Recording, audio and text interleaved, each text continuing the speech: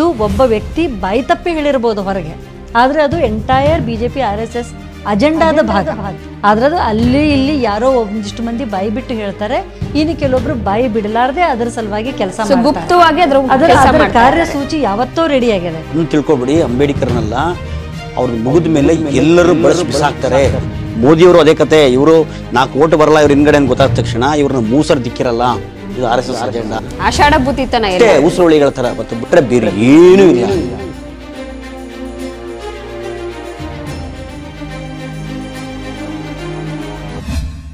ಈ ದಿನ ವೀಕ್ಷಕರೇ ನಮಸ್ಕಾರ. ನಾನು ಧನಲಕ್ಷ್ಮಿ ದೇವರಾಜ್. ಸಂವಿಧಾನವನ್ನ ಬದಲಾಯಿಸ್ತೀವಿ. ಸಂವಿಧಾನವನ್ನ ಬದಲಾಯಿಸೋದಕ್ಕೆ ನಾವು ಬಂದಿದ್ದೀವಿ ಅನ್ನುವಂತಹ ಮಾತುಗಳನ್ನ ಬಿಜೆಪಿ ನಾಯಕರ ಬಾಯಿಗಳಲ್ಲಿ ಆಗಾಗ ಕೇಳ್ತಾನೆ ಬಂದಿದ್ದೀವಿ. ಈಗ ಸಂವಿಧಾನ ಬದಲಾವಣೆಗೆ ನಮಗೆ ರಾಜ್ಯಸಭೆ, ಲೋಕಸಭೆ ಎರಡರಲ್ಲೂ ಕೂಡ ಬಹುಮತ ಬೇಕು. ಹಾಗಾಗಿ ನಾಲ್ಕು ನೂರು ಸೀಟ್ಗಳನ್ನ ಮುಟ್ಟುವಂತೆ ನಮ್ಮನ್ನ ಗೆಲ್ಲಿಸಿ ಅನ್ನುವಂತಹ ಮಾತುಗಳು ಬಿಜೆಪಿ ನಾಯಕರ ಬಾಯಲ್ಲಿ ಪದೇ ಪದೇ ಕೇಳಿ ಬರ್ತಾ ಇದೆ. ಅನಂತ್ ಕುಮಾರ್ ಹೆಗಡೆ ಹೇಳದಂತಹ ಅದೇ ಮಾತುಗಳನ್ನ ಈಗ ರಾಜಸ್ಥಾನದ ನಾಗೌರ್ನ ಬಿಜೆಪಿ ಅಭ್ಯರ್ಥಿ ಜ್ಯೋತಿ ಮಿರ್ದಾ ಅವರು ಹೇಳಿದ್ದಾರೆ ಮಾರ್ಚ್ ಮೂವತ್ತರಂದು ಚುನಾವಣಾ ಪ್ರಚಾರದ ವೇಳೆ ಅವರು ಹೇಳಿರುವಂತ ಈ ಮಾತುಗಳು ಭಾರಿ ವಿವಾದವನ್ನ ಉಂಟು ಮಾಡ್ತಾ ಇದೆ. ಬನ್ನಿ ಆ ವಿಡಿಯೋವನ್ನ ಒಮ್ಮೆ ನೋಡ್ಕೊಂಡು ಬರೋಣ. ಜೊತೆಗೆ ಅನಂತ್ ಕುಮಾರ್ ಹೆಗಡೆ ಅವರು ಹೇಳಿದಂತಹ ಆ ಮಾತುಗಳನ್ನು ಕೂಡ ಒಮ್ಮೆ ನೆನಪು ಮಾಡಿಕೊಂಡು ಚರ್ಚೆಗೆ ಹೋಗೋಣ देश के हित में कई कठोर निर्णय लेने पड़ते हैं उनके लिए हमें संवैधानिक बदलाव करने पड़ते हैं अगर संविधान के अंदर हमें कोई बदलाव करना होता है तो आप में से कई लोग जानते हैं कि उसके लिए दोनों जो हमारे सदन है लोकसभा और राज्यसभा दोनों की उसके अंदर अमल चाहिए होती है लोकसभा में आज भारत भारतीय जनता पार्टी और एनडीए का प्रचंड बहुमत है उसमें कोई कमी नहीं है ಸಂವಿಧಾನಗಳು ಕಾಲಕ್ಕೆ ತಕ್ಕಂತ ಅದೆಷ್ಟೋ ಬಾರಿ ಬದಲಾಗಿದೆ ಮುಂದಿನ ದಿವಸದಲ್ಲಿ ಕೂಡ ಬದಲಾಗುತ್ತೆ ಆ ಸಂವಿಧಾನವನ್ನು ಬದಲಾಯಿಸಲಿಕ್ಕೋಸ್ಕರವೇ ನಾವಿರೋದು ನಾವು ಬಂದಿರೋದು ಬದಲಾಯಿಸ್ತೀವಿ ಸಂವಿಧಾನವನ್ನ ತಿದ್ದುಪಡಿ ಮಾಡಬೇಕಾದ್ರೆ ಈ ಮೆಜಾರಿಟಿಯಲ್ಲಿ ಆಗುದಿಲ್ಲ ನಮಗೆ ಲೋಕಸಭೆಯಲ್ಲೂ ಮೆಜಾರಿಟಿ ಬೇಕಾಗುತ್ತೆ ರಾಜ್ಯಸಭೆಯಲ್ಲಿಯೂ ಕೂಡ ಟೂ ಥರ್ಡ್ ಮೆಜಾರಿಟಿ ಬೇಕಾಗುತ್ತೆ ರಾಜ್ಯ ಸರ್ಕಾರಗಳಲ್ಲಿಯೂ ಟೂ ಥರ್ಡ್ ಮೆಜಾರಿಟಿ ಬೇಕಾಗುತ್ತೆ ಬಿಜೆಪಿ ನಾಯಕರು ಈ ಹೇಳಿಕೆಗಳನ್ನ ಅಚಾನಕ್ ಆಗಿ ಬಾಯಿ ತಪ್ಪಿ ಏನೋ ಹೇಳ್ತಾ ಇರೋದಲ್ಲ, ಹಾಗೆ ಅಚಾನಕ್ ಆಗಿ ಹೇಳಿದಿದ್ರೆ ಒಂದೇ ಒಂದು ಹೇಳಿಕೆ, ಹಲವು ಕಡೆ ಇರುವ ಬಿಜೆಪಿ ನಾಯಕರ ಬಾಯಲ್ಲಿ ಬರ್ತಾ ಇರಲಿಲ್ಲ. ಇದು ಆರ್ ಎಸ್ ಎಸ್, ಬಿಜೆಪಿಯ ಮೂಲ ಅಜೆಂಡಾ. ಹಾಗಾಗಿ ಸಂವಿಧಾನ ಬದಲಿಸ್, ಬದಲಿಸ್ತೀವಿ ಅನ್ನೋಂಥವ್ರನ್ನ ನಾವು ದೂರ ಇಡಬೇಕು. ಈ ಚುನಾವಣೆಯಲ್ಲಿ ದೇಶದ ಜನ ಬಿಜೆಪಿಯನ್ನ ತಿರಸ್ಕರಿಸಬೇಕು ಅನ್ನುವಂತಹ ಹೇಳಿಕೆಗಳು ಕೂಡ ಕೇಳಿ, ಬರ್ತಾ ಇದ್ದಾವೆ. ಹಾಗಾಗಿ ನಾವು ಈ ಚರ್ಚೆಯನ್ನ ನಡೆಸ್ತಾ ಇದ್ವಿ ನನ್ನೊಟ್ಟಿಗೆ ಈ ಚರ್ಚೆಯಲ್ಲಿ ಕರ್ನಾಟಕ ಹೈಕೋರ್ಟ್ ವಕೀಲರು ರಾಜಲಕ್ಷ್ಮಿ ಅಂಕಲಗಿ ಅವರು ಅವರನ್ನು ಕಾರ್ಯಕ್ರಮಕ್ಕೆ ಸ್ವಾಗತಿಸ್ತಾ ಇದ್ದೀವಿ. ಕಾರ್ಯಕ್ರಮಕ್ಕೆ ಸ್ವಾಗತ ರಾಜಲಕ್ಷ್ಮಿ ಅವರೇ. ಮತ್ತೊಬ್ರು ಅತಿಥಿ ಇದ್ದಾರೆ. ಸಾಮಾಜಿಕ ಕಾರ್ಯಕರ್ತ ಜಾಣೆ ಜಾಣೆಯರ ಜಗದೀಶ್ ಅವರು, ಅವರನ್ನು ಕೂಡ ನಾನು ಕಾರ್ಯಕ್ರಮಕ್ಕೆ ಸ್ವಾಗತಿಸ್ತಾ ಇದ್ದೀನಿ. ಸರ್, ಕಾರ್ಯಕ್ರಮಕ್ಕೆ ತಮಗೂ ಕೂಡ ಸ್ವಾಗತ. ಪದೇ ಪದೇ ಬಿಜೆಪಿ ನಾಯಕರಲ್ಲಿ ಈ ಹೇಳಿಕೆಗಳು ಬರ್ತಾ ಇದ್ದಾವೆ. ಸೊ ಫಸ್ಟ್ ರಿಯಾಕ್ಷನ್ ಏನು ಮೇಡಮ್ ನಿಮ್ಗೆ ಅದ್ರ ಬಗ್ಗೆ? ಇಲ್ಲ, ಇದು ಎಕ್ಸ್ಪೆಕ್ಟೆಡ್ ಲೈನ್ಸ್ ಒಳಗೆ ಹೋಗ್ತದೆ. ಯಾಕಂದ್ರೆ ಇದು ಮಹಿಳೆ ಅಂತಲ್ಲ, ಪುರುಷ ಅಂತಲ್ಲ, ಆಮೇಲೆ ರಾಜ್ಯ ದೇಶದ ಒಂದು ಮೂಲೆಯಿಂದಲ್ಲ ಇನ್ನೊಂದು ಮೂಲೆಯಿಂದಲ್ಲ. ಎಲ್ಲ ಭಾಗದಿಂದಲೂ ಬರ್ತದೆ. ಆದರೆ ಇದನ್ನ ಅವ್ರು ಯಾವ ರೀತಿ ಕ್ಯಾಲ್ಕುಲೇಟೆಡ್ ಆಗಿ ಪ್ಲಾನ್ ಮಾಡ್ತಾರೆ ಅಂತಂದ್ರೆ ಸಂವಿಧಾನನ ಬದಲಿಸ್ತೀವಿ ಅನ್ನೋ ಮಾತು ಪ್ರತಿ ಮೂಲೆಯಿಂದ ಪ್ರತಿಯೊಬ್ಬ ಜನರ ಕಿವಿಗೂ ಆವಾಗ ಆವಾಗ ಅದು ಕೇಳ್ಕೊತಾನೆ ಇರಬೇಕು. ಆ ಥರ ಅದನ್ನು ಒಂದು ನ್ಯೂಟ್ರಲೈಸ್ ಮಾಡಿಬಿಡ್ತಾರೆ. ಇದು ಎಷ್ಟು ಕಾಮನ್ ಮಾಡ್ತಾರೆ ಅಂದರೆ ಇದು ಪಾರ್ಟ್ ಆಫ್ ಅಜೆಂಡಾ ಇದೇನು ಹೊಸದಾಗಿ ಯಾರೋ ಬೈತಪ್ಪಿ ಆಡಿದ ಮಾತಲ್ಲ. ಈಗ ಏನವ್ರು ಹೇಳಿದ್ರು ಅನಂತ್ ಕುಮಾರ್ ಹೆಗಡೆ ಮಾತಾಡಿದಾಗ ಇದು ಅವರ ವೈಯಕ್ತಿಕ ಅಭಿಪ್ರಾಯ ಪಕ್ಷಕ್ಕೂ ಅದಕ್ಕೂ ಸಂಬಂಧ ಇಲ್ಲ ಅಂತ ಹೇಳ್ತಾರೆ. ಯಾರೇ ಎಂಥದ್ದೇ ಸ್ಟೇಟ್ಮೆಂಟ್ ಕೊಡಲಿ. ಅದರಿಂದ ಇರುಸು ಮುರುಸು ಆಯ್ತಾ? ಅದು ಪಕ್ಷಕ್ಕೆ ಸಂಬಂಧ ಇಲ್ಲ ಅಂತ ಹೇಳೋದು. ಅಕಸ್ಮಾತ್ ಅದಕ್ಕೆ ಒಂದು ನಾಲ್ಕು ಜನ ಸಪೋರ್ಟ್ ಮಾಡಿದ್ರೆ ಇದು ಪಕ್ಷದ ಅಜೆಂಡಾ ಅಂತ ಹೇಳಿದ್ರು ಅನಂತಕುಮಾರ್ ಅನಂತ್ ಕುಮಾರ್ ಹೇಳಿದಾಗ ಇನ್ನೂ ಒಂದು ಮಾತು ಹೇಳಿದರು. ನಾಲ್ಕುನೂರು ಓಟ್ಗಳು ನಮಗೆ ಯಾಕೆ ಬೇಕು? ಇದು ಪ್ರಧಾನಮಂತ್ರಿಯವರ ಒಂದು ವಿಚಾರಧಾರೆಯ ಭಾಗ ಅಂತನೂ ಹೇಳಿದರು. ಅಂದ್ರೆ ಇದು ಇಂಟರ್ನಲ್ ಸರ್ಕಲ್ ಒಳಗೆ ಪಾರ್ಟಿಯ ಇಂಟರ್ನಲ್ ಸರ್ಕಲ್ ಇದು ಒಬ್ಬ ವ್ಯಕ್ತಿಯ ವೈಯಕ್ತಿಕ ಹೇಳಿಕೆ ಅಲ್ಲ ಅಲ್ಲ. ಇದು ಒಬ್ಬ ವ್ಯಕ್ತಿ ಬಾಯಿ ತಪ್ಪಿ ಹೇಳಿರ್ಬೋದು ಹೊರಗೆ. ಆದರೆ ಅದು entire B J P R S S ಅಜೆಂಡಾದ ಭಾಗ. ಆದರೆ ಅದು ಅಲ್ಲಿ ಇಲ್ಲಿ ಯಾರೋ ಒಂದಿಷ್ಟು ಮಂದಿ ಬಾಯಿ ಬಿಟ್ಟು ಹೇಳ್ತಾರೆ ಇನ್ನು ಕೆಲವೊಬ್ರು ಬಾಯಿ ಬಿಡಲಾರ್ದೆ ಅದರ ಸಲುವಾಗಿ ಕೆಲಸ ಮಾಡ್ತಾರೆ. ಗುಪ್ತವಾಗಿ ಅದರ ಕಾರ್ಯಸೂಚಿ ಯಾವತ್ತೋ ರೆಡಿ ಆಗಿದೆ.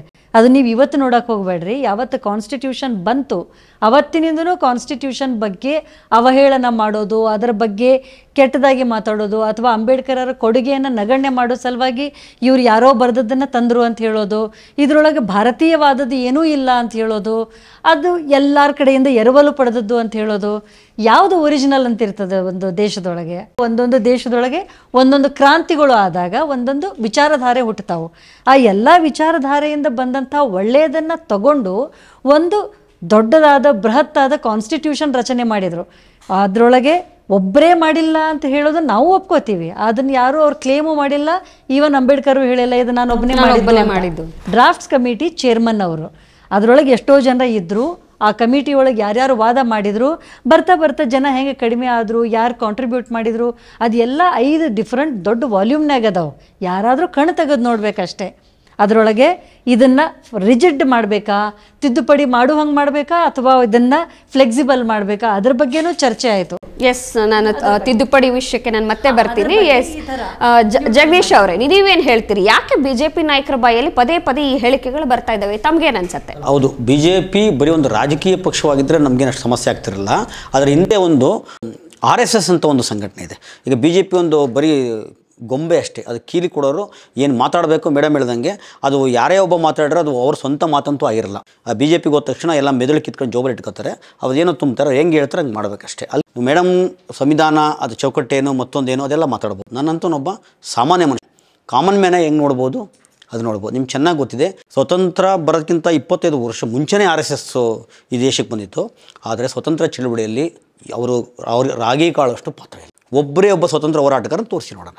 ಮತ್ತು ರಾಷ್ಟ್ರಪಿತ ಮಹಾತ್ಮ ಗಾಂಧಿಯನ್ನು ಕೊಂದಿದ್ದು? ಇದೇ ಒಂದು ಆಲೋಚನೆಯಿಂದ ಮರಿಬಾರ್ದು. ದೇಶದ ಮೊಟ್ಟ ಮೊದಲ ಭಯೋತ್ಪಾದಕ. ಗೋಡ್ಸೆ, ಅದನ್ನು ಬಂದಿದ್ದು ಅವನು ಯಾವ ಆಲೋಚನೆಯಿಂದ ಬಂದಂತ ಎಲ್ರಿಗೂ ಚೆನ್ನಾಗಿ ಗೊತ್ತಿದೆ. ಮತ್ತು ಇವ್ರು ಹೇಳ್ತಾರಲ್ಲ ಸಂವಿಧಾನದಲ್ಲಿ ನಮ್ಮ ಭಾರತೀಯತೆ ಇರಲಿಲ್ಲ ನಮ್ಮ ಸನಾತನ ಇರಲಿಲ್ಲ ಯಾವುದು ನಿಮ್ಮ ಭಾರತೀಯತೆ ಸನಾತನ ಅಂದರೆ? ನೀವು ನಿಮ್ಮ ಸನಾತನ ಅಂದರೆ ಬರೀ ತಾಳೆಗರಿಲಿ ಕುತ್ಕೊಂಡು ಬರ್ಕೊಂಡು ಕುತ್ಕೊಳೋದಾ? ಅಂದರೆ ಮರಳ ಮೇಲೆ ತಿದ್ದದಾ? ಬ್ರಿಟಿಷರ್ ಬರೋವರೆಗೂ ಇಲ್ಲಿ ನಿಮಗೆ ಕೆಲಸ ಮಾಡಿದವನಿಗೆ ಸಂಬಳ ಕೊಡಬೇಕು ಅಂತ ಗೊತ್ತಿರಲಿಲ್ಲ ಹಣೆ ಬರೋಕೆ ಇವ್ರಿಗೆ. ಕೆಲಸ ಮಾಡ್ಸ್ಕೊಂಡು ವರ್ಷಕ್ಕೊಂದ್ಸಲ ರಾಗಿನೋ ಜೋಳನ ಕೊಟ್ಟು ಕಳಿಸ್ತಾ ಇದ್ದು, ಇಲ್ಲಪ್ಪ ಕೆಲಸ ಮಾಡಿಸ್ಕೊಂಡು ನಮ್ಗೆ ಸಂಬಳನೂ ಕೊಡಬೇಕು. ಹೇಳ್ಕೊಟ್ಟವ್ರು ಬ್ರಿಟಿಷರು. ಅಕ್ಷರ ಕಲಿಸ್ಕೊಟ್ಟವ್ರು ಅವರು. ಬಂದಮೇಲೆ ನಾನು ಹೇಳ್ತಾ ಇರೋದು, ಅದು ನಿಮ್ಮದು ಯಾವುದು? ನಿಮ್ಮ ಗತಕಾಲದ ಸನಾತನದಲ್ಲಿ ದಲಿತರಿಗೆ, ಶೂದ್ರರಿಗೆ, ಮಹಿಳೆಯರಿಗೆ ಏನು ಸ್ಥಾನಮಾನ ಇತ್ತು? ಅಲ್ವಾ? ಹಂಗಾಗಿ ಇವರು ನೀವು ಹೇಳ್ದಂಗೆ ಸುಮ್ಮನೆ ಹೇಳಲ್ಲ. ಅದು ನೋಡ್ತಾರೆ. ಈಗ ಹಿಂದೆ ಕರ್ನಾಟಕದ ತಗೊಳ್ಳಿ. ಕರ್ನಾಟಕ ಸೀಮಿತವಾಗಿ ನೋಡಿದರೆ ಎಚ್ ಎಸ್ ದೊರಸ್ವಾಮಿ ಅಂತ ಸ್ವತಂತ್ರ ಹೋರಾಟಗಾರನ ಬಾಯಿ ಬಂದ ಮಾತಾಡಿದರು. ಹರಗಿಸ್ಕೊಂಡ್ರು ಅವರು.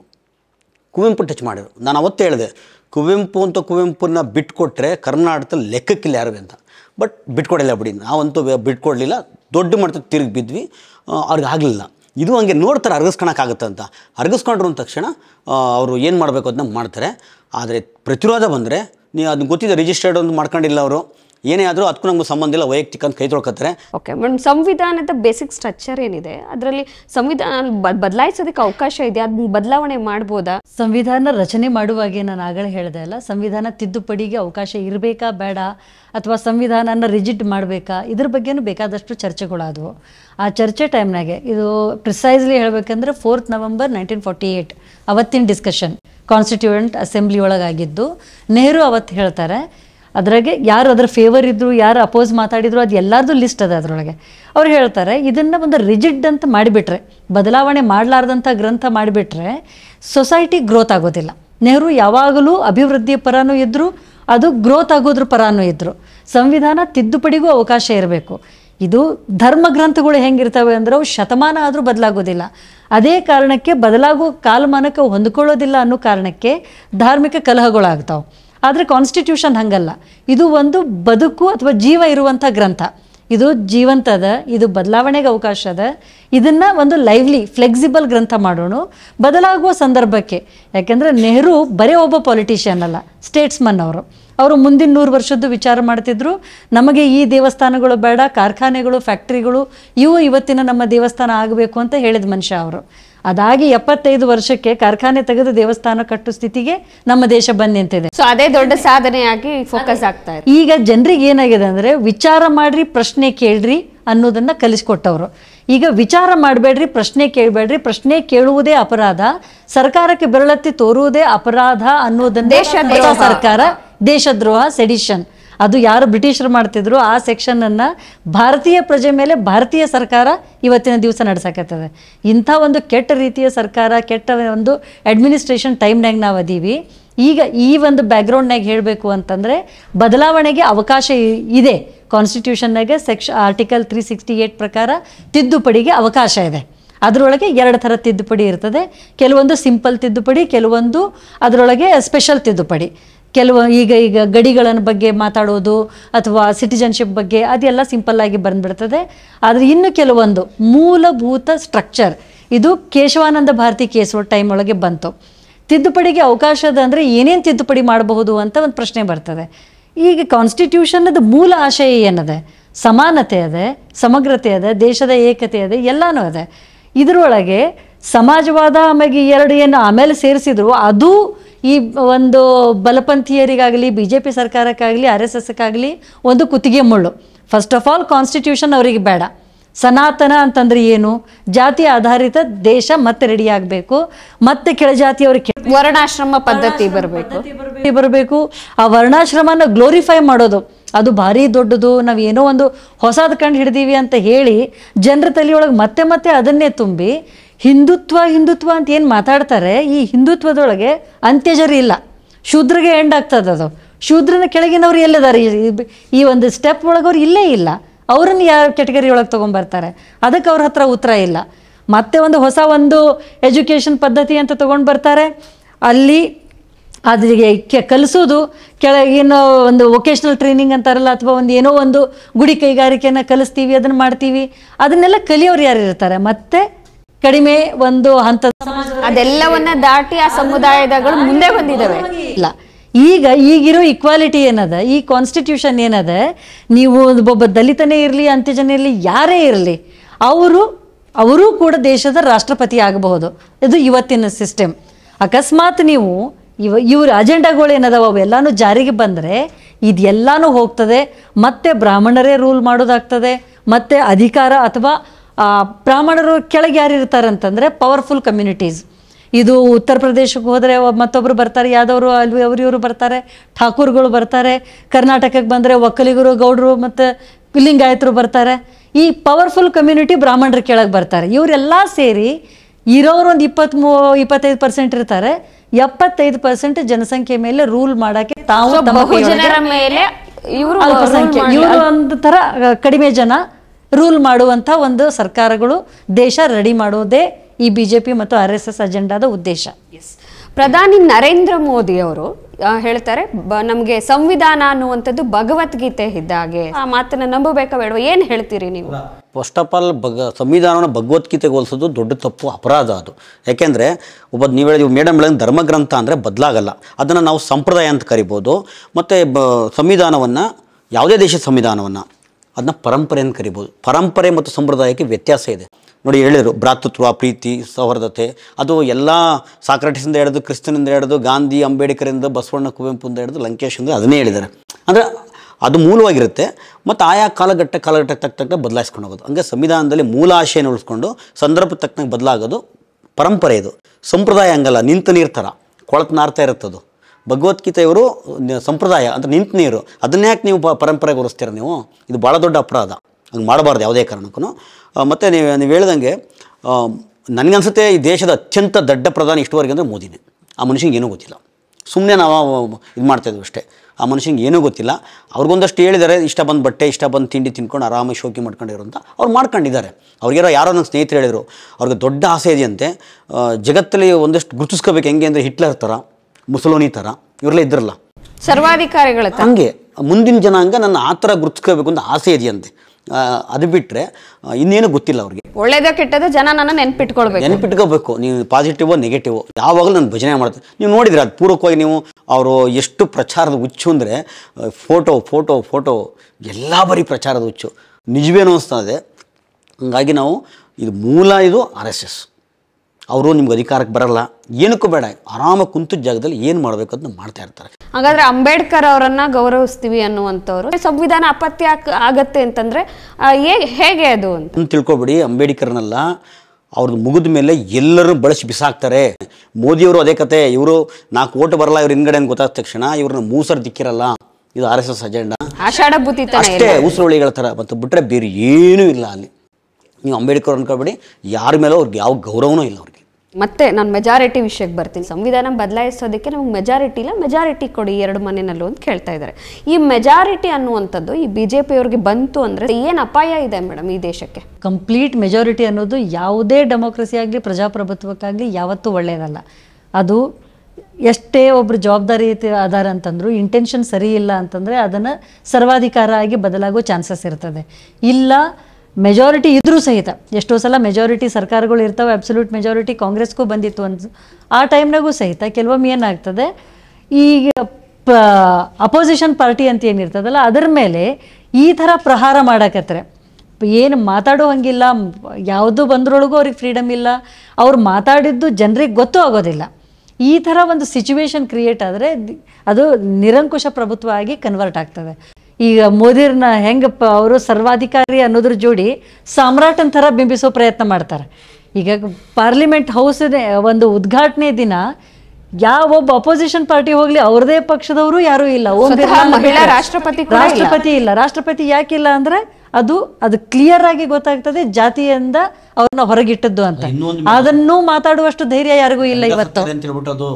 ಅದಂತೂ ಆ ಗಂಡ ಸತ್ತದ್ದು ಅಂಥದ್ದನ್ನೆಲ್ಲ ಇವ್ರು ನಂಬುತ್ತಾರೆ ಅನ್ನೋದೇ ಆದರೆ ರಾಮ ಟೆಂಪಲನ್ನು ಉದ್ಘಾಟನೆ ಮಾಡುವ ಹಕ್ಕು ಮೋದಿಗೂ ಇಲ್ಲ. ಯಾಕೆಂದರೆ ಅಲ್ಲಿಯೇ ಒಬ್ಬರು ಪೂಜಾರಿಗಳು ಹೇಳಿರೋ ಪ್ರಕಾರ ಮದುವೆ ಆದ ಗಂಡ ಹೆಂಡತಿ ಜೋಡಿ ಕೂಡಿ ಪೂಜೆ ಮಾಡಬೇಕು. ಇಂಥವೆಲ್ಲ ನಾವು ನಂಬ್ಕೋತ ಹೋಗೋದು ಬೇಡ. ಫಸ್ಟ್ ಆಫ್ ಆಲ್ ಬಂದಾಗ ಹೆಂಡ್ತಿನೇ ಇಲ್ಲ ಅಂತ ಹೇಳಿದವರು. ಓಕೆ ಈ ಥರ ಇವ್ರು ಹೇಳಿರೋ ಸುಳ್ಳುಗಳಿಗೆ ಲಿಮಿಟೇ ಇಲ್ಲ. ಅದು ನಾವು ಧರ್ಮದ ಎಂಟ್ರಿ ಮಾಡೋದೇ ಬೇಡ. ಅದು ನಂಬಿಕೆ ಮೇಲೆ ಇರ್ತದೆ. ಕೂಡ್ತಾರೋ, ಕೂಡೋದಿಲ್ಲನೋ ಯಾರು ಬೇಡ. ಆದರೆ ಇಲ್ಲಿ ನಾವು ಜಾತಿ ಮತ್ ಮಾತಾಡಲೇಬೇಕಾಗ್ತದೆ. ಯಾಕಂದರೆ ಅದು ಬ್ಯಾನ್ ಆಗಿದೆ. ದೇಶದೊಳಗೆ ನಾವು ಬ್ಯಾನ್ ಮಾಡೀವಿ. ಸಮಾನತೆ ಅಂತ ನಾವು ಹೇಳ್ತೀವಿ. ಫಂಡಮೆಂಟಲ್ ರೈಟ್ಸ್ ಒಳಗೆ ನಾವು ಸಮಾನತೆ ಅಂತ ಕೊಟ್ಟ ಮೇಲೆ ನಮ್ಮ ರಾಷ್ಟ್ರಪತಿನ ಕರೀಲಾರ್ದೆ ನೀವು ಹೆಂಗೆ ಮಾಡಿದ್ರಿ? ಒಬ್ಬ ವಿಧಾನಸಭೆ ಸ್ಪೀಕರ್ನ ಜೋಡಿ ಇಟ್ಕೊಂಡು ಅದು ಅವರು ಮಾಡಿರುವಂಥದ್ದು ಬರೀ ಹಿಂದೂ ಅಲ್ಲಿ ಅಲ್ಲಿ ಇವರು ಯಾಕೆ ಬಪೂಜಾರಿಗಳು ಯಾಕೆ ಬಂದರು? ನಾವು ಸೆಕ್ಯುಲರ್ ದೇಶ ಅಂತ ಹೇಳಿದಾಗ ಬೇರೆ ಧರ್ಮದ ಪ್ರತಿನಿಧಿಗಳಲ್ಲಿ ಯಾಕಿರಲಿಲ್ಲ? ಪ್ರಜಾಪ್ರಭುತ್ವದ ಸೌಧ ಅದು. ಯಾವ ಯಾರು ಯಾಕಿರಲಿಲ್ಲ. ನಾವು ಎಲ್ಲ ದೇಶ ದೇಶದ ತುಂಬ ಎಲ್ಲ ಜಾತಿ ಧರ್ಮಗಳ ರಿಪ್ರೆಸೆಂಟೇಟಿವ್ ಹೋಗಿ ಕೂಡೋ ಜಾಗಕ್ಕೆ ಒಂದೇ ಧರ್ಮದವರು ಪೂಜೆ ಯಾಕೆ ಮಾಡಿದ್ರು? ಆಮೇಲೆ ಅದು ಸೆಂಗೋಲನ್ನು ಹಿಡ್ಕೊಂಡು ಆ ಬಳಗಿ ಹಿಡ್ಕೊಂಡು ಅದನ್ನ ನೀವು ಎಷ್ಟೇ ಒಂದು ಪವಿತ್ರತೆ ಕೊಡ್ರಿ ಒಂದು ವಸ್ತುವಿಗೆ ಆದರೆ ಆ ಪವಿತ್ರತೆ ಅನ್ನೋದು ನಿಮ್ಮ ತಲೆಗೆ ಬಿಟ್ಟರೆ ಅದು ಕಾನ್ಸ್ಟಿಟ್ಯೂಷನ್ಗೆ ಸಂಬಂಧಪಟ್ಟಂಥ ಯಾವುದೇ ಸೌಧಕ್ಕೂ ಅಲ್ಲ. ನೀವು ಯಾವುದೋ ಹೊರಗೆ ಹೋಗಿ ಪೂಜೆ ಮಾಡ್ಕೊಳ್ರಿ. ಅಲ್ಲಿ ನಡೆಯುವಂಥ ಕೆಲಸ ಅಲ್ಲ. ನೀವು ಎಷ್ಟು ಮೀಡಿಯಾ ನೋಡಾಕತ್ತೀರಿ, ಎಲ್ಲನೂ ಅವರು ಕಂಟ್ರೋಲ್ದಾಗ ತೊಗೊಂಡಾರೆ. ಕೆಲವೊಬ್ಬರನ್ನ ಖರೀದಿ ಮಾಡ್ಯಾರ, ಇನ್ನು ಕೆಲವೊಬ್ಬರನ್ನ ಹೆದರಿಸ್ಯಾರ. ಯಾವುದೇ ಮೇನ್ ಸ್ಟ್ರೀಮ್ ಮೀಡಿಯಾ ಒಳಗೂ ಒಂದೇ ಒಂದು ಪ್ರಶ್ನೆ ಹುಟ್ಟೋದಿಲ್ಲ. ದೇಶದೊಳಗೆ ಇಷ್ಟೆಲ್ಲ ನಡೆದಿದೆ, ಒಂದು ಪ್ರ, ಪ್ರಮುಖ ಅಪೋಸಿಷನ್ ಪಾರ್ಟಿದು ಅಕೌಂಟ್ ಸೀಸ್ ಆಗಿದೆ ಅದ್ರ ಬಗ್ಗೆ ಸುದ್ದಿ ಇಲ್ಲ. ಇನ್ನು ಯಾವುದೋ ದೇಶದ ಪೋಪ್ ಭಾಷಣ ಮಾಡ್ಕೊಂಡು ಇವತ್ತು ಅದನ್ನು ತೋರ್ಸಾಕತ್ತಿದ್ರು. ಎಲ್ಲಿ ಏನು ನಡೆದದ ಘಟನೆ ದೇಶದೊಳಗೆ ಯಾರಿಗೂ ಗೊತ್ತಾಗೋದಿಲ್ಲ. ಮಣಿಪುರ ಹೊತ್ತಿ ಉರಿದ್ರೆ ಅಲ್ಲಿ ಪ್ರಧಾನಮಂತ್ರಿ ಹೋಗೋದಿಲ್ಲ. ಇನ್ನು ಯಾವುದೋ ದೇಶದೊಳಗೆ ಯಾರೋ ಒಂದು ಹೆಣ್ಮಗಳಿಗೆ ಸೌಹಾರ್ದತೆ ತೋರಿಸಿ ಭಾಷಣ ಮಾಡ್ತಾರೆ. ತಾವೂ ಹೆಣ್ಮಕ್ಳಿಗೊಂದು ಅವಹೇಳನಕಾರಿಯಾಗಿ ಮಾತಾಡ್ತಾರೆ. ಬೇಟಿ ಬಚಾವ್ ಅಂತೂ ಬಿಟ್ಬಿಡ್ರಿ. ಬೇಟಿ ಬಚಾವ್ ಆಯಿತು ಅಲ್ಲಿ ಹಾಥರಸ್ ಒಳಗೆ ಯಾವ ರೀತಿ ಆಯಿತು ಉನ್ನಾವ್ ಒಳಗೆ ಯಾವ ರೀತಿ ಅತ್ಯಾಚಾರಗಳು ಆಯಿತು ಅಲ್ಲಿ ಎಂ ಎಲ್ ಎನ ಯಾವ ರೀತಿ ಕ ಪ್ರೊಟೆಕ್ಟ್ ಮಾಡಿದ್ರು ಇದೆಲ್ಲಾನು ನಾವು ನೋಡೀವಿ. ಆದರೆ ಒಂದು ರಾಜ್ಯದ ಮುಖ್ಯಮಂತ್ರಿ ಮಮತಾ ಬ್ಯಾನರ್ಜಿಗೆ ಇವ್ರು ಹೋಗಿ ಅತಿ ಅಸಭ್ಯ ಭಾಷೆ ಒಳಗೆ. ಈಗ ರೋಡ್ ಸೈಡ್ ಜನ ಕರೀತಾರಲ್ಲ ಹುಡುಗರು ನಿಂತು, ಆ ಥರ ಕರೆದ್ರು ಸ್ಟೇಜ್ ಮೇಲೆ. ಜನ ಅದಕ್ಕೆ ಚಪ್ಪಾಳೆನ ಹೊಡೆದ್ರು. ನಮ್ಗೆ ಅತಿ ಅಸಹ್ಯ ಅನಿಸಿದ್ದು, ಕೆಟ್ಟ ಅನಿಸಿದ್ದು ಅಂದರೆ, ಆ ಒಂದು ಡೈಲಾಗ್ ಏನಿತ್ತಲ್ಲ, ದೀದಿ ಓ ದೀದಿ ಅಂತ ಕೆಟ್ಟದಾಗಿ ಹೇಳಿದ್ದು, ಅದನ್ನು ಎಷ್ಟೋ ಜನ ತಂದೆ ತಾಯಿಗಳು ತಮ್ಮ ನಾಲ್ಕು ನಾಲ್ಕು ವರ್ಷದ ಮಕ್ಕಳ ಕಡೆಯಿಂದ ಇಮಿಟೇಟ್ ಮಾಡಿಸಿ ರೀಲ್ಸ್ ಮಾಡಿ ಹಾಕಿದ್ರು. ಅಂದ್ರೆ ನಾವು ಯಾರನ್ನ ಇಮಿಟೇಟ್ ಮಾಡಾಕತ್ತೀವಿ? ಸೊ ದೇಶದ ಒಬ್ಬ ಪ್ರತಿಷ್ಠಿತ ಪ್ರಧಾನಿ ಘನತೆ ಬಿಟ್ಟು ಘನತೆ ಅಂತೂ ಅಲ್ಲಿ ಇಲ್ಲೇ ಇಲ್ಲ. ನಾವು ಎದಕ್ಕೆ ಇದ್ರ ಬಗ್ಗೆ ನಾವು ಎಚ್ಚರಿಕೆಯಿಂದ ಇರಬೇಕು ಅಂದರೆ ಒಂದು ಅಬ್ಸಲ್ಯೂಟ್ ಮೆಜಾರಿಟಿ ಸಿಕ್ಕಾಗ ಪ್ರಶ್ನೆ ಕೇಳುವುದೇ ಹೋಗಿಬಿಡುತ್ತದೆ ಅಂತ ಒಂದು ವಾತಾವರಣ ಕ್ರಿಯೇಟ್ ಆದಾಗ ಮೆಜಾರಿಟಿ ಮೆಜಾರಿಟಿ ಅಂತ ಹೇಳೋದು ಯಥಾ ರಾಜ ತಥಾ ಪ್ರಜಾ ಅಂತ ಒಂದು ಹೇಳ್ತಿದ್ರು. ಆದರೆ ಆ್ಯಕ್ಚುಲಿ ಯಥಾ ಪ್ರಜಾ ತಥಾ ರಾಜನೂ ಇರ್ತದೆ. ಈಗ ಜನ ಎಪ್ಪತ್ತು ವರ್ಷದವರೆಗೂ ಇವರು ಲಾಸ್ಟ್ ಹತ್ತು ವರ್ಷ ಬರೋಕ್ಕಿಂತ ಮೊದಲು ಒಂದು ಕೆಲವೊಂದು ಅಸಹ್ಯಕರ ಮಾತಾಡಬೇಕಾದ್ರೆ ಜನ ಏನು ಅಂದ್ಕೋತಾರೆ ಅಂತ ಅನ್ಕೋತಿದ್ರು. ಈಗ ಯಾರು ಎಷ್ಟು ಕೆಟ್ಟದಾಗಿ ಮಾತಾಡ್ತಾರೆ ಅವರು ಹೆಚ್ಚಿನ ಲೀಡರ್ ಆಗ್ತಾರೆ. ಆ ಲೆವೆಲದ್ದೊಂದು ಪಾಲಿಟಿಕ್ಸ್ ಬೆಳೆದದೆ ಈಗ. ಯಾರು, ಯಾರಿಗೇ ಆಗಲಿ ಕೆಟ್ಟ ಶಬ್ದ ಯೂಸ್ ಮಾಡೋದು ಅದೆಲ್ಲನೂ ಕಾಮನ್ ಆಗಿ ಹೋಗಿದೆ. ಅಂದರೆ ನೀವು ಯಾರು ಲೀಡ್ ಮಾಡಾಕತ್ತಾರೆ, ನೀವು ಯಾರನ್ನು ಅಣಕ ಮಾಡಾಕತ್ತೀರಿ ಫಾಲೋ ಮಾಡಾಕತ್ತೀರಿ, ಅದು ನಮ್ಮ ಒಂದು ದುರ್ದಶೆನ ತೋರಿಸ್ತದೆ. ಅದರಿಂದ ಒಂದು ಸ್ಟ್ರಾಂಗ್ ಅಪೋಸಿಷನ್ ಪಾರ್ಟಿ ಯಾವುದೇ ದೇಶಕ್ಕಾದರೂ ಬೇಕು. ಈಗ ಇಲೆಕ್ಷನ್ ಕಮಿಷನರ್ನ ಆಯ್ಕೆ ಮಾಡೋದ್ರಿಂದ ಹಿಡ್ಕೊಂಡು ಎಲೆಕ್ಟ್ರಲ್ ಬಾಂಡ್ಗಳನ್ನು ತಗೊಂಡು ಬರೋ ಸಲುವಾಗಿ ಯಾವ ರೀತಿ ಕಾನೂನನ್ನೇ ಬದಲಾವಣೆ ಮಾಡಿದರು ಇನ್ಕಮ್ ಟ್ಯಾಕ್ಸನ್ನು ಒಡೆದು ಹಾಕಿದರು, ಎಲ್ಲ ಅದನ್ನು ಕಾನೂನನ್ನು ಚೌಕಟ್ಟನ್ನೇ ಮುರಿದು ಒಂದು ಕೆಟ್ಟದಾದ ಚೌಕಟ್ಟು ಹಾಕಿ ಇಲೆಕ್ಟ್ರಲ್ ಬಾಂಡ್ ಅನ್ನುವಂಥದ್ದನ್ನು ಭ್ರಷ್ಟಾಚಾರಕ್ಕೆ ನೀವು ಶಾಸನಬದ್ಧ ಒಂದು ಟೈಟಲ್ ಕೊಟ್ಟುಬಿಟ್ರು ಇದೆಲ್ಲ ಯಾವಾಗ ಸಾಧ್ಯ? ಇಂಥದ್ದಾದಾಗ ಸಾಧ್ಯ. ಸರ್ವಾಧಿಕಾರ ಇದ್ದಾಗ. ಅದು ಅಲ್ಲದೆ ನೂರ ನಲವತ್ತು ಮಂದಿ ಎಂ ಎಂ ಪಿಗಳನ್ನು ಸಸ್ಪೆಂಡ್ ಮಾಡಿ ಯಾವ್ಯಾವ್ದು ಬೇಕು ಎಲ್ಲ ಮಸೂದೆಗಳನ್ನು ಪಾಸ್ ಮಾಡ್ಕೊಂಡ್ಬಿಟ್ರು. ಇದು ಯಾಕೆ ಸಾಧ್ಯ ಆಯಿತು? ಯಾಕಂದರೆ ಅಬ್ಸಲ್ಯೂಟ್ ಮೆಜಾರಿಟಿ ಇದ್ದಾಗ. ಯಾವ ಜನ ಧರ್ಮದ ನ- ಅಮಲಿನೊಳಗೆ ಇವರಿಗೆ ಅಬ್ಸಲ್ಯೂಟ್ ಮೆಜಾರಿಟಿ ಕೊಡ್ತಾರೆ ಇದೇ ಜನರಿಗೆ ನಾಳೆ ಅವರು ಅಡ್ಡಕಾಲು ಹಾಕ್ತಾರೆ ತಲೆ ಮೇಲೆ ಚಪ್ಪಡಿನೂ ಹಾಕ್ತಾರೆ. ಮೀಸಲಾತಿನ ತೆಗಿತಾರೆ. ಅದು ಅವ್ರ ಅಜೆಂಡಾ ಒಳಗಿದೆ. ಎಲ್ಲ ಇವ್ರಿಗೇನಾಗ್ಬಿಟ್ಟಿದೆ ಹಿಂದೂ ಧರ್ಮದೊಳಗೆ ನಾವು ಬಂದೀವಿ ಅನ್ನುವಂಥ ಒಂದು ಉತ್ಸಾಹದೊಳಗೆ ಕೆಳಜಾತಿಯವರು ಯಾರ್ಯಾರು ಕೆಟಗರಿಯೊಳಗಿದ್ದಾರೆ ಅವರೆಲ್ಲರೂ ನಾವು ಹಿಂದೂಗಳು ಅಂತ ಹೇಳ್ಕೊತಾರೆ. ಆದರೆ ಹಿಂದೂಗಳು ಇವರಿಗೆ ನಾಳೆ ಅದೇ ಟೆಂಪಲ್ಗೆ ಹೋಗಲಿ ಒಳಗೆ ಯಾರಿಗೆ ಬಿಡ್ತಾರೆ ಹೊರಗೆ ಯಾರಿಗೆ ಕೂಡಿಸ್ತಾರೆ ಗೊತ್ತಾಗ್ತದೆ. ಅಲ್ಲ ಇವತ್ತು ಕೂಡ ಹಳ್ಳಿಗಳಲ್ಲಿ ಕೆಳಗ ಜಾತಿಯ ಜನರು ದೇವಸ್ಥಾನದ ಒಳಗಡೆ ಹೋಗ್ಲಿಕ್ಕೆ ಅವಕಾಶ ಇಲ್ಲ. ಹಳ್ಳಿಗಳಲ್ಲಿ ಅಲ್ಲ. ರಾಷ್ಟ್ರಪತಿಗೆ ಅವರು ಪುರಿ ಜಗನ್ನಾಥ ಟೆಂಪಲ್ದೊಳಗೆ ಬಿಡಲಿಲ್ಲ. ರಾಮ್ ಟೆಂಪಲ್ ಕರೀಲಿಲ್ಲ. ಈ ಹಿಂದೆನೂ ಜಗಜೀವನ್ ರಾಮ್ ಅವರು ಇದ್ದಾಗಲೂ ಪುರಿ ಜಗನ್ನಾಥಕ್ಕೆ ಹೋದಾಗ ಟೆಂಪಲ್ ಶುದ್ಧೀಕರಣ ಮಾಡಿದ್ರು. ಇಂಥ ಅಸಹ್ಯ ಪದ್ಧತಿ ನಮ್ಮ ದೇಶದೊಳಗದೆ. ಇದನ್ನ ನಾವು ಯಾರು ಅರ್ಥ ಮಾಡ್ಕೊಳ್ಳಾರ್ದೆ ಅಬ್ಸಲ್ಯೂಟ್ ಮೆಜಾರಿಟಿ ಕೊಟ್ಟು ಇವ್ರು ಮಾಡೋ ಎಲ್ಲ ಒಂದು ತಿದ್ದುಪಡಿಗಳಿಗೂ ತಲೆ ಅಳಗಾಡಿಸ್ಬಿಟ್ರೆ, ನಾವು ಹಿಂದೂಗಳಾಗೀವಿ ಅಂತ ಹೇಳ್ಕೊಂಬಿಟ್ರೆ ಆ ಹಿಂದೂಗಳೊಳಗೆ ನೀವು ಎಲ್ಲೆದೀರಿ, ಅದನ್ನು ಫೈಂಡ್ ಔಟ್ ಮಾಡಿರಿ. ಅದು ಬಿಟ್ಟು ನೀವು ಯಾವತ್ತೂ ಆ ಹಿಂದೂ ಅನ್ನೋದು ನಿಮ್ದು ಧರ್ಮ ಇರ್ಬೋದು ನಮ್ಮ ಧರ್ಮ ಇರ್ಬೋದು ಅದು ಭಾರಿ ವಿಶಾಲ ಆಗ್ಯದ. ಆದರೆ ಇವ್ರು ಹೇಳುವ ಹಿಂದುತ್ವ ಏನದಲ್ಲ ಅದು ಹಿಂದೂ ಧರ್ಮ ಅಲ್ಲ. ಧರ್ಮನೇ ಬೇರೆ ಹಿಂದುತ್ವನೇ ಬೇರೆ. ಇದನ್ನು ಅರ್ಥ ಮಾಡ್ಕೊಳ್ಳಾರ್ದೆ ಅಬ್ಸಲ್ಯೂಟ್ ಮೆಜಾರಿಟಿ ಕೊಟ್ಟರೆ ತಲೆ ಮೇಲೆ ಕಲ್ಲು ಹಾಕೊಂಡಂಗೆ ಇದು ಮತ್ತೆ ನಾವು ಐವತ್ತು ವರ್ಷನೋ ನೂರು ವರ್ಷನೋ ಸಾವಿರ ವರ್ಷ ರಿವರ್ಸಿಗೆ ಹೋಗ್ತೀವಿ. ಮುಂದೆ ಹೋಗೋ ಸಾಧ್ಯನೇ ಇಲ್ಲ. ಪ್ರಗತಿಪರ ಅನ್ನೋ ಶಬ್ದನೇ ಇಲ್ಲ. ಪ್ರತಿಗಾಮಿ ಕಾನೂನುಗಳು ಬರ್ತಾವೆ. ಮುಖ್ಯವಾಗಿ ದಲಿತರ ಜೊತೆ ಇದರೊಳಗೆ ಅಫೆಕ್ಟ್ ಆಗೋರು ಹೆಣ್ಮಕ್ಳು ಯಾವುದೇ ಜಾತಿ ಇರಲಿ ಯಾವುದೇ ಧರ್ಮ ಇರಲಿ ಹೆಣ್ಮಕ್ಳು ಅಪಿಯರ್. ಇದರೊಳಗೆ ಅಫೆಕ್ಟ್ ಆಗ್ತಾರೆ. ಯಾಕೆಂದರೆ ಬಿ ಆರ್ ಎಸ್ ಎಸ್ಸಿನ ಎಲ್ಲ ಮುಖಂಡರ ಭಾಷಣ ಕೇಳ್ರಿ ಹೆಣ್ಣುಮಕ್ಕಳು ಮನೆಯೊಳಗಿರಬೇಕು. ಹೆಣ್ಣುಮಕ್ಕಳು ಆಕೆ ದೇವಿ ದೇವಿ ಅದು ಇದು ನಾವು ದೇವಿ ಆಗೋದು ಬೇಡ. ನಮಗೆ ದೇವತ್ವ ಬೇಡ ನಾವು ಮನುಷ್ಯತ್ವ ಬೇಕು ಈಕ್ವಾಲಿಟಿ ಬೇಕು. ಅದು ಕಾನ್ಸ್ಟಿಟ್ಯೂಷನ್ ಕೊಟ್ಟದೆ ಅದನ್ನು ಉಳಿಸ್ಕೊಳ್ಳೋಕೆ ಹೆಣ್ಣು ಮಕ್ಕಳು ಬ್ರಾಹ್ಮಣರೇ ಇರಲಿ ದಲಿತರೇ ಇರಲಿ ಯಾವುದೇ ಜಾತಿಯವರಿರಲಿ ಮುಸ್ಲಿಂ ಇರಲಿ ಕ್ರಿಶ್ಚಿಯನ್ ಇರಲಿ ಒಗ್ಗಟ್ಟಾಗಿ ಬಿ ಜೆ ಪಿಯನ್ನು ತಿರಸ್ಕರಿಸಬೇಕು ಸಂವಿಧಾನನ ಎತ್ತಿ ಹಿಡಿಬೇಕು. ಮತ್ತಷ್ಟು ವಿಶೇಷ ವಿಡಿಯೋಗಳನ್ನು ನೋಡಲು ಮತ್ತು ಹೊಸ ವಿಡಿಯೋಗಳ ಬಗ್ಗೆ ತಿಳಿಯಲು Ee Dina dot com YouTube channel subscribe ಮಾಡಿ ಮತ್ತು ಬೆಲ್ ಐಕಾನ್ ಕ್ಲಿಕ್ ಮಾಡಿ.